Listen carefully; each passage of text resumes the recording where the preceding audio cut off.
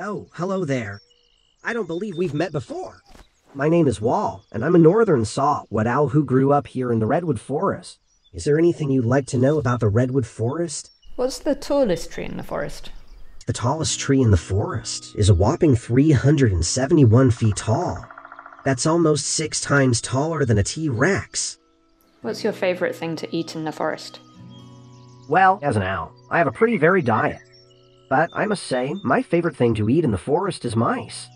They're just so tender and juicy. Do you have any friends with all of these animals? Oh, I have lots of friends in the forest. Some of them are birds like me, and some are squirrels and chipmunks. But my best friend is a wandering salamander who lives high up in the canopy. Are there any myths about the forest? Oh, there are plenty of myths and legends about the redwood forest.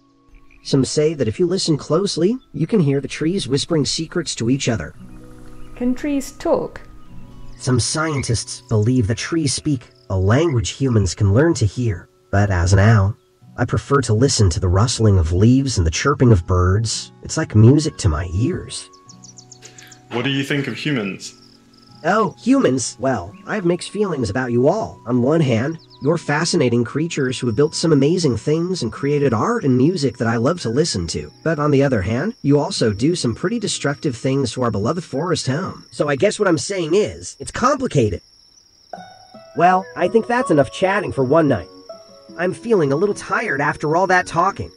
Thank you so much for spending time with me and asking such great questions about the forest. I hope you learned something new today.